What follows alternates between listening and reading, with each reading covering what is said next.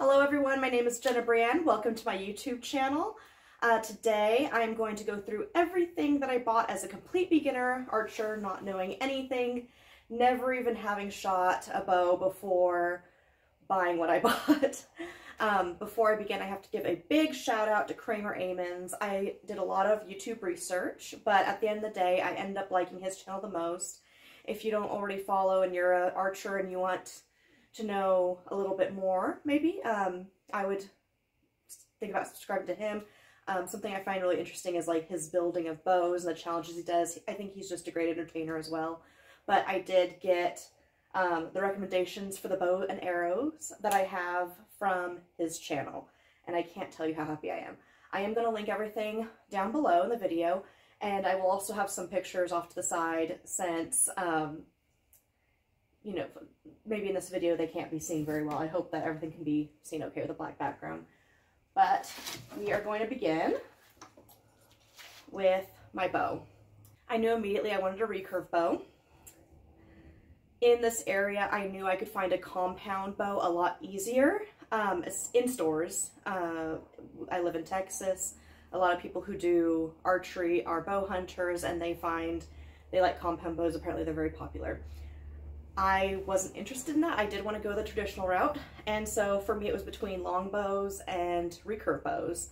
And after doing some research, um, my consensus was that they are different, of course, but they have a lot of similarities and it's kind of down to preference for the most part. I did hear some people say that it would be better to get a long bow as a beginner, but knowing that I had a tight budget and that I might want to move on to what I'd really like, sooner rather than later, I figured I might as well just get what I want, which is the recurve bow. So the Black Hunter takedown recurve bow.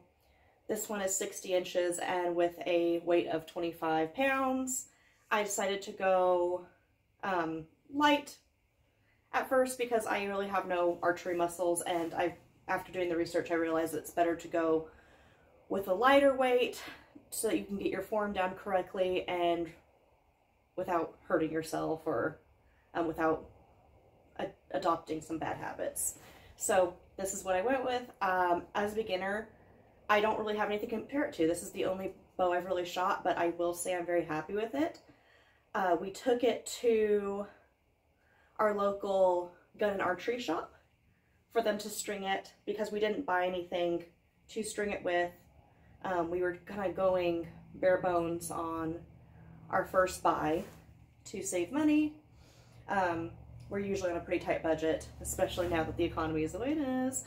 Um, but yeah, taking it to the shop, they actually said that it's a really great bow.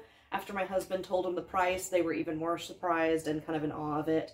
And just me personally, um, I may not always know a lot about things and, and uh, stats and stuff like that, but the feel of it is really lovely. Um, the weight is perfect for me being so new and just working on my form and just shooting in the backyard. I don't have to worry about distance or anything like that. Um, and the grip feels really great. I am five foot tall. I have small hands and it feels really nice for me. It might not feel nice maybe for somebody with bigger hands, but I'm really, really happy with it. And I'm so glad I listened to his recommendation and went ahead and got this bow. Um, the next thing I'll talk about is my arrows. And this was another thing where I'm glad I watched a Kramer Ammons video. it's not sponsored, I swear. Although if we want to do a collab one day, that'd be kind of fun. So there were a few reviews on his channel um, for arrows. My husband used to do archery, but he shot with a compound, but he understands the importance of a good arrow. And so we got these Linkboy Archery um, with a spine of 400 and they were recommended by Kramer Ammons as like the best budget arrow. There was something that was even cheaper and I thought about going that route, but my husband was saying, I don't want you to end up hating archery because you got the wrong arrows. Um, and so far I've been really happy with them. My husband's kind of played a little bit with them. He's actually a little too tall for my bow. He's 6'3", and he's nervous about pulling it back too far. and breaking it, which I appreciate the consideration because I don't know how much that can handle anyway. And he's very tall. So, um, but just with him playing with it, he's like, these are nice. And he's seen me shoot. And um, again, not really knowing anything about archery, really happy with these. They feel great. Um, I do want to get um, a 500 spine next and see how they feel different.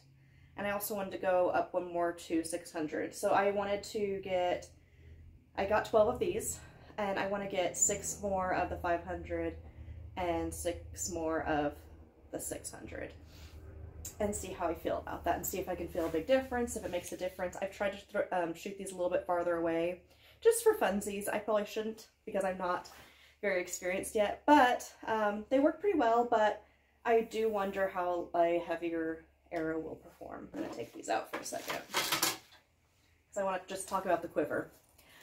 I'm pretty sure this is a child-size quiver. It's so small and uh, on more than one occasion I've kind of like just balanced this just wrong going outside, just hauling it out on my shoulder just to get it out and it's kind of slipped and the arrows have fallen out and it's been kind of a pain. But I literally found one of, I think the cheapest quiver I could. I don't know how you pronounce the name. I'll show you the picture right here. But, I mean, it does the trick. I can't really complain too much because what's it supposed to do? Hold arrows. It holds the arrows fine. I just kind of think I would like something wider and taller. Um, and then also, I think what I will do next time is I'll probably do leather because I don't really love the fabric. And maybe it's just because it is a very cheap quiver. Again, I kind of feel like it's a child size or something, like a kid could definitely use it. Um, I only did a couple things to this. It comes with, hold on. It comes already with a little clip, which you can, I guess, clip to your pants or whatever you have a belt maybe. I use it just to put my leather tab on, which we'll talk about in a second. Um, but I actually ended up clipping these little clips. I put it on because I really like this clipped to my belt or my uh, belt holder, whatever. a lot easier. I like it a lot better than just this. I feel like um, that with this, the tension is like a paper clip, and so you have to slide it on. And I do kind of worry about it, like maybe ripping my fabric over time. I don't think I'm doing anything necessarily completely right. I'm just saying what I've observed as a complete beginner and what I like. Um, so I clip this to my pants. I usually just keep my leather tab clipped onto that and it, with the arrows inside, it keeps everything pretty neatly together. So it does the trick. I would like to invest in a nicer quiver down the road, and I don't know if I want leather just for funsies, quite frankly, because I love the aesthetic of it, if I'm being honest. Um, but I'll definitely do a lot more research because I've been watching a lot of target archers, and I think that's the route I want to go for archery right now. Um, down the road, I think it'd be fun to play with a different kind of bow and do horseback because I ride horses and I think that would just be fun. But I think that's down the road a ways. I want to just work on targets and play around with that. Comes with a little Velcro patch. Um, I put one on here that my husband bought for me a long time ago that says I'm not small, I'm fun sized because um, it has a little Velcro bit right here. Kind of fun. Um, I have no real complaints other than I think I just would um, save and spend my money better next time knowing what I know now. The leather tab is by Hide and Drink, and I've already cut mine down to the size I like. It's just a little slip through tab on my middle finger. I tied it off. It was, again, a pretty cheap tab. I don't think that I saw anything that was really absurdly expensive. But again, I was kind of going cheap. I put my money into the bow and the arrows, and they're really great, I think, for the price. I'm really, really happy with them. But I just picked a tab that has a little one finger over, two finger under, little gapping there. I really like shooting that way, I found. I did watch a lot of archers and realizing they shoot with three fingers below um, the nock, but I don't like that. it just doesn't feel very natural to me. I kind of played with it one time and I was like, no, I'm just going to stick with what I know, but they shoot this more this way and I, I found it to be really fun. I like it a lot too, and I feel like um, the string is better balanced to my finger if I go that way. So that's how I prefer to shoot, and that's my job. Now what you won't see here is an arm guard. um, when I was buying everything, my husband was saying, just save your money, you don't need it, just learn to shoot properly. um, I have learned that even though my stance has gotten a lot better, I still nick myself every now and then, but it's nothing really, and it's gone in a few minutes.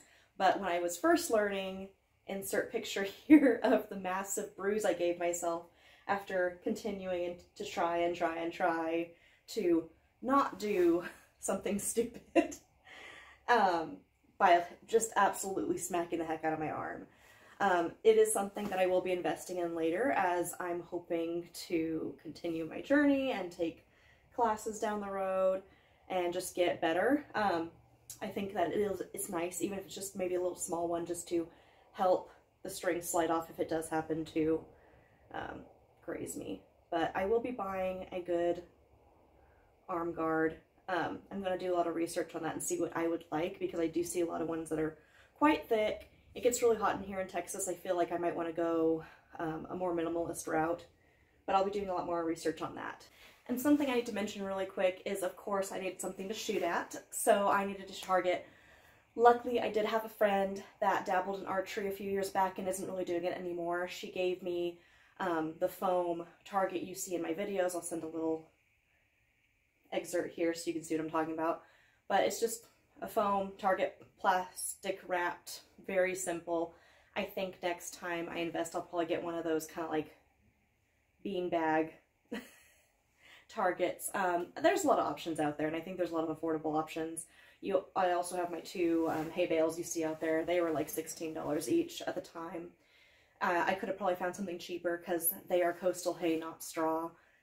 But they have come in handy since I have missed a few times and gone too low, and it's also been nice to raise up my target on a platform. So really glad I bought those. Um, yeah, I don't know what kind of targets I'll buy in the future, but there's a lot of options. I think if I started getting really good, I would want to get one that kind of hangs from a tree. I think that'd be fun because I've seen those too. And uh, I have I have no shortage of trees in my backyard, so uh, that's something I'm probably to do. Um, down the road, as I get better, I will want to invest in better arrows and see the difference in that because there's so many out there and um, after checking my husband, he was saying how these are relatively very affordable um, for good arrows, and they've been so fun to play with. But I am excited to try different brands and see what I like and see what a difference it makes. Way down the road, I'll be upgrading my bow, but I think that this will get me through for quite some time. Um, I'll probably go up in weight, I imagine, down the road and go with something more modern. I've been watching a lot of target archery, like I've said, I love watching the barebow competitions, and so I think I'm going to kind of lean that route, but we'll see. I also am just interested in just trying new things down the road. Um, so I think I just want to play and just have fun. But as far as my first setup, I think I spent just under $200 for everything. I think if I got an arm guard, it would have put me pretty much right at 200 or just a smidge over. Um, they're not very expensive, but it was something where, again, we were on a tight budget. My husband really wanted me to stick under that $200 mark. So that's what we're, we did. That's what I have to work with. And I'm so excited to keep y'all updated and see how I progress and what I'll do differently in the future. I hope that this has maybe helped somebody who's been looking for it. I think that I'm uh, my I'm just sharing my experience as a complete beginner. I didn't shoot a bow and arrow until I until mine came in. my arrows took forever to come in and then we had to string my bow and I think it was about mid-February when I finally got to take my first shot. But it's on my YouTube video here if you want to see what a mess I was. Uh, thank y'all so much for watching. I'll see y'all next week. Bye.